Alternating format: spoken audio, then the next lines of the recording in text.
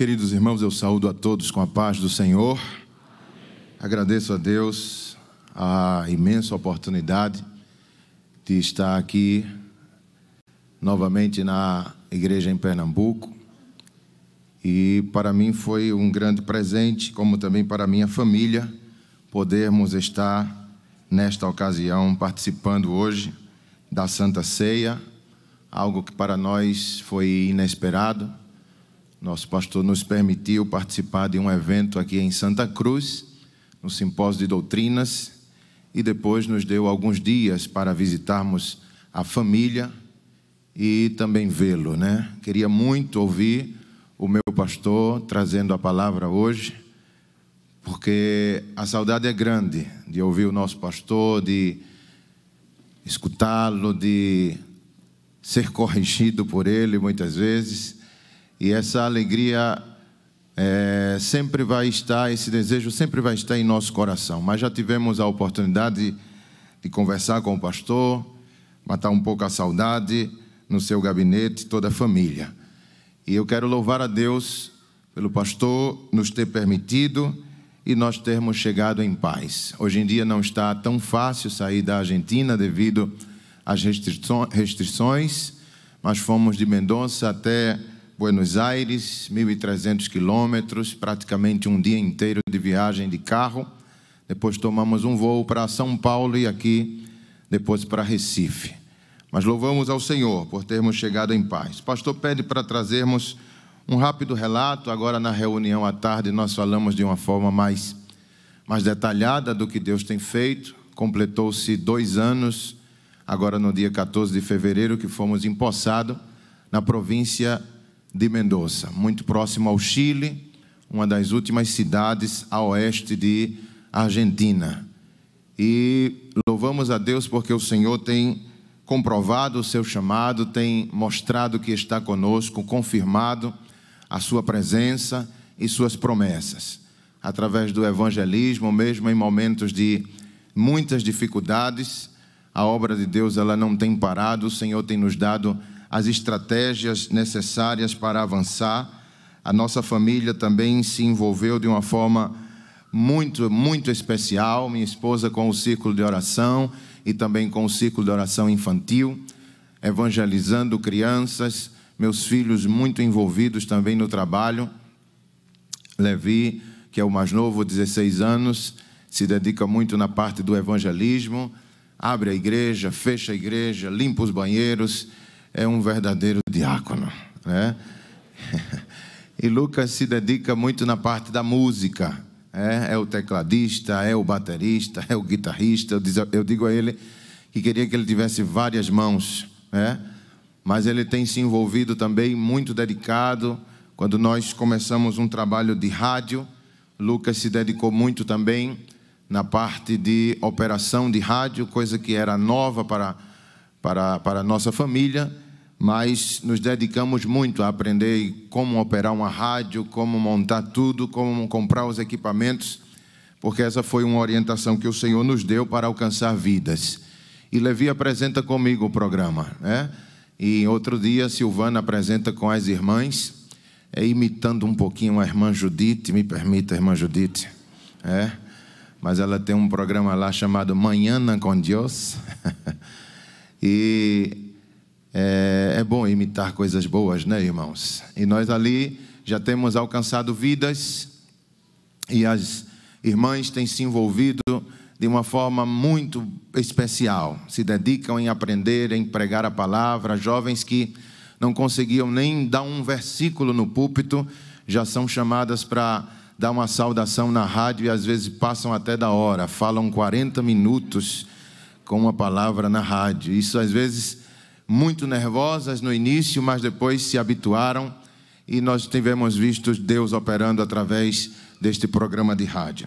Também desenvolvemos um trabalho de ação social, atingindo pessoas mais carentes, aproveitando essa crise a nível mundial.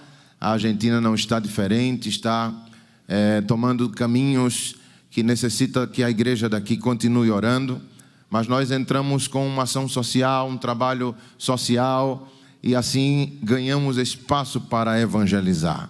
Avançamos também em alguns pontos de pregação, outros tivemos que fechar porque eram casas de irmãos e as restrições ordenavam que em casa não podia haver ajuntamento com penalidades severas para quem quebrasse as regras. E a igreja ficou limitada somente no templo, tivemos que fechar alguns lugares. Mas em compensação, não paramos de evangelizar. A forma foi mudada. Em tempo de guerra, o pastor estava dizendo hoje à tarde na reunião de obreiros, em tempo de guerra as estratégias devem ser mudadas também. E Deus tem nos dado as estratégias. A campanha já não sai como saía, em grupos pequenos, entrando nas casas, visitando, mas o Senhor nos deu uma orientação de sairmos em grupo, todos juntos, sem dividir em pequenos grupos, saímos em média 40 pessoas para evangelizar e compramos um, um carrinho de feira e colocamos um caixa é, carregado a bateria. E aí Lucas liga o, o, o violão dele, outros irmãos também. As irmãs tomam cinco pandeirolas na mão e sai aí cantando os hinos da harpa. Então ninguém pode parar. A gente está caminhando, a gente não está parado, a gente não está entrando na casa de ninguém. A via é pública e aí a palavra de Deus vai entrando nas casas. E aí paramos em cada esquina e um irmão, uma irmã vem e dá uma palavra de 10, 15 minutos. Antes que a polícia chegue, a gente já corre para outra esquina, não pode parar, e aí a gente vai ganhando almas para Jesus, irmãos. Algumas famílias têm se rendido com esse trabalho de evangelismo, e eu perguntei a uma irmã antiga da igreja, porque Mendonça é uma igreja fundada pelo pastor Júnior, como todos sabem, e é uma igreja de 26 anos, completou agora. E eu perguntava, irmã, eu nunca saí, é a primeira vez que eu saí para visitar o Brasil, como se comporta a igreja? E ela disse, pastor, a igreja geralmente relaxa um pouco quando o pastor sai. E eu disse, está bem, mas aí a gente tem um trabalho muito intenso de consagração, evangelismo, vigília, círculo de oração, trabalho de discipulado nos lares e a gente pensou que isso ia ter um recuo. Deixamos a, a igreja na responsabilidade do nosso diácono, irmão Alberto, né? E o irmão Alberto segue com o trabalho lá. E por incrível que pareça, irmãos, o trabalho não recuou, não caiu. Jesus está fazendo coisas tremendas lá na congregação contar algo rapidinho, pastor, com a sua permissão. Esses dias que estivemos em Santa Cruz, pastor nos permitiu pregar todo o período de carnaval, foram cinco dias pregando.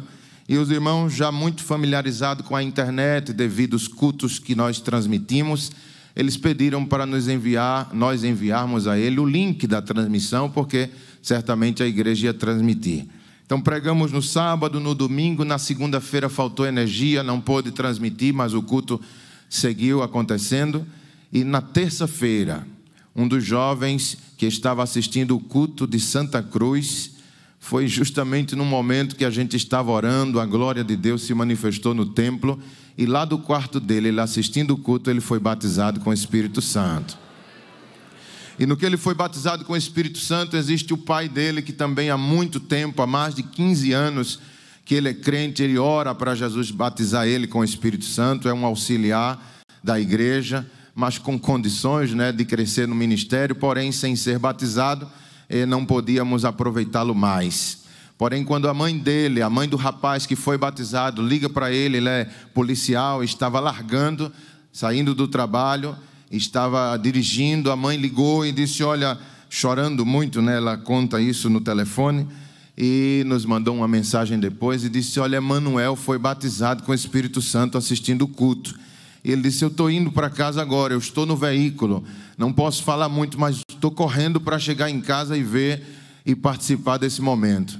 E enquanto ele saía do trabalho até a casa dele, Jesus batizou ele no carro. Ele entrou já falando em línguas estranhas.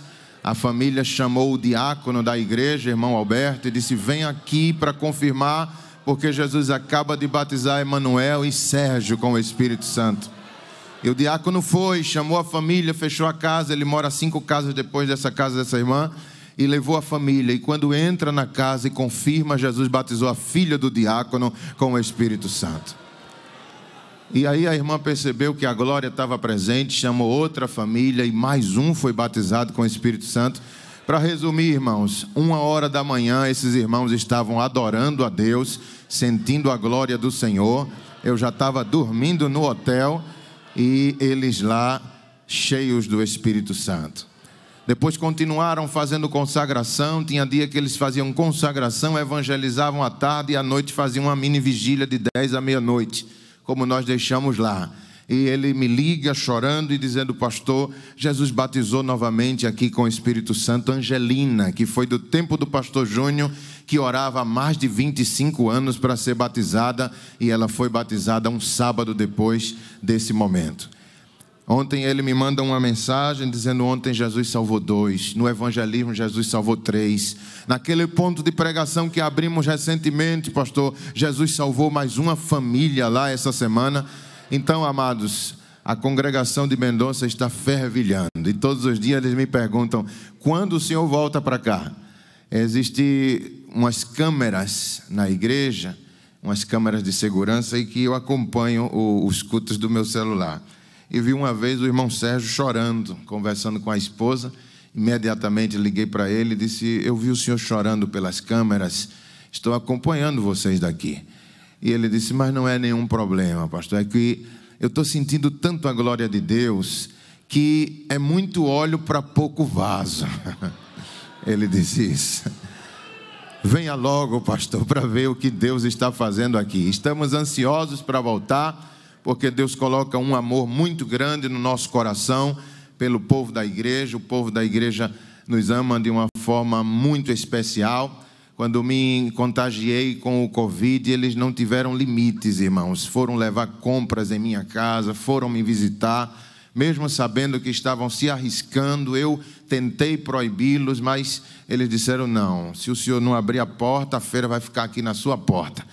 E eu abri ali nós oramos, mantive uma certa distância, né? mas o Senhor tem sido bom com o trabalho e a obra de Deus tem sido abençoada. Quem pode dizer amém, irmãos? Fruto das orações. Uma vez eh, o nosso diácono, o irmão Alberto, entrou num estado de depressão, passou como com uns três meses muito aflito e eu precisava dele, eu preciso dele para tudo, para servir uma ceia, para fazer uma visita a alguém. E ele estava nesse estado, e eu orando para que Deus lhe restaurasse. E uma vez ele, sem querer se abrir, ele me confessa com muito sacrifício, muita insistência, porque não queria me preocupar. Ele disse: É que minha esposa está gestante, pastor, o senhor sabe, e já era o quarto filhinho. E ele disse assim: Foi diagnosticado que meu bebê vai ser deficiente. Ele vai nascer com hidrocefalia. E nós nos afligimos por isso, porque ele tem um adolescente de 12 anos, um outro filho de 8, outro de 6, e nasceu o quarto agora com essa deficiência. E ele dizia: Como vai ser para a nossa família? Minha esposa cuidando de um bebê doente, para mim vai ser muito difícil. É esse o motivo por eu estar tão deprimido, tão triste. E ela estava com cerca de cinco meses quando ele me disse isso, e foi passando o tempo, passando. Quando ela estava com os nove meses, já para dar luz, ela foi no círculo de oração e disse: Irmãos, eu estou prestes a dar luz, mas eu estou muito angustiada. Eu não posso negar isso, não consigo aceitar de uma forma normal, natural. Para mim, vai ser muito difícil. E desabou em choro, irmãos. E toda a igreja chorou com essa irmã muito aflita, e eu estava sentado no púlpito e fui comovido com o drama, com o momento, e disse: Irmã, pare, vamos ficar de pé, igreja. E a igreja ficou de pé. E elevamos um clamor daqueles que a gente chora, irmãos, urrando pela misericórdia de Deus. Pedi à minha esposa, coloque a mão no ventre dela, e as duas choravam muito ali. E aí, depois de um mês, é, ela vai ter o bebê e o bebê nasceu normal. A criança nasceu perfeita. Aleluia. Glória a Deus. Está lá Mateus. Mateus é seu nome. Seu pai foi registrar no cartório e aí tirou uma foto do registro e disse: Pastor, estou registrando meu filho aqui e olha o nome dele, Mateus Lourival. Eu disse, meu filho, como é que o senhor faz uma coisa dessa? Aqui não existe esse nome, lá não conseguem falar meu nome, irmãos. É uma dificuldade quando eu vou fazer qualquer trâmite num, num, num banco, na escola, na cidade, comprar algo que tenha que colocar meu nome na nota fiscal. Como é seu nome, Senhor? E eu digo, Lourival. Lourival. Como? Lourival. De quê? Qual é o teu apelido? E eu digo, de Oliveira. Listo, vou pôr aqui de Oliveira, tá vendo? Não conseguem pronunciar o meu nome. Até a igreja sente dificuldade. E aí o irmão coloca meu nome e ele diz: é para a gente nunca esquecer o Senhor. Eu digo, meu Deus do céu. Mas para o irmão verem o nível de carinho, o nível de amor que a igreja tem por nós. É, isso é fruto dos pastores que passaram por lá, irmãos. A igreja é como se você estivesse cultuando aqui. É o mesmo tempero, é a mesma glória, é a mesma alegria, é a mesma presença espiritual e a glória de Deus tem se manifestado. Eu quero agradecer com estas poucas palavras as orações da igreja aqui de Pernambuco. Deus tem feito muitas coisas, muitas coisas em Mendonça. Milagres, batismo, vidas que são salvas Nesta pandemia, muitas igrejas mais antigas têm se fechado lá de outras denominações, é, países que enviaram seus missionários e não conseguem sustentá-los financeiramente e recolhem esses homens. Existe uma igreja lá que o pastor foi ser pedreiro, porque não conseguia continuar sendo pastor e teve que fechar a igreja para não passar por necessidade. E nessas condições, a nossa igreja se manteve aberta durante todo o período de pandemia. Fechamos somente poucos dias, mas Mendonça é forte, Mendonça reage, Mendonça continua crescendo para a glória de Deus. Aleluia. E eu digo aos irmãos lá, irmãos, tem coisas que só a Assembleia de Deus faz, irmão. Assembleiando de sangue, irmãos. Aí eu chamo eles assim e digo: se orgulhem disso, se orgulhem de nossa igreja que não deixa faltar nada para nós, os obreiros que são enviados e fazem com que o nosso sustento chegue a tempo e nós não nos preocupemos com crise. A nossa preocupação, a preocupação dos missionários é ganhar almas para Jesus, é resgatar vidas, é transmitir uma palavra de fé, de esperança para o povo de Mendonça. Quem diz amém, amados? Portanto, aqui fica a minha palavra de gratidão ao nosso pastor Ailton, que ora por nós, que nos orienta, que fala sempre conosco, ao corpo de obreiros, a nossa irmã Judite, que também sempre orienta as mulheres que estão no campo missionário, e todos os irmãos que contribuem com seu dízimo, com sua oferta, que é convertido para ganhar vidas para Jesus. Existe, quando sair daqui, eu pedi, irmão, sustentem a corda e vocês estão sustentando direitinho. Aleluia, glória a Deus. Às vezes eu dou um puxãozinho assim, puxa, irmãos, e aí vem uma família para Jesus. Desce novamente e a gente desce. E assim vai buscando almas para o reino de Deus. E quando chegarmos na glória, o galardão será compartido com todos. Quem diz amém, irmãos? Queridos irmãos, com a permissão do nosso pastor, eu quero ler aqui um texto que se tornou um referencial para nós nesta luta em Êxodo capítulo 15 e o versículo 22. Foi algo que realmente nos impactou essa pandemia. O argentino ele reagiu de forma é, negativa, não, não conseguia confrontar, não conseguia é, entender o que estava passando de uma forma geral. E o nosso isolamento, nosso nosso distanciamento se tornou um dos mais longos do mundo e também foi comprovado que um dos mais ineficientes, porque se trancou muito o povo quando não era para trancar, quando a, o vírus ainda não tinha chegado de uma forma maciça. E quando o vírus chegou, então o governo já estava com a economia muito atingida, muito defasada, então teve que abrir o comércio. E aí, aquele isolamento, aquele distanciamento do início, não teve muita é, não teve muita utilidade. Então foi o período mais longo de todos os países e o que não teve na, é, tanta eficiência.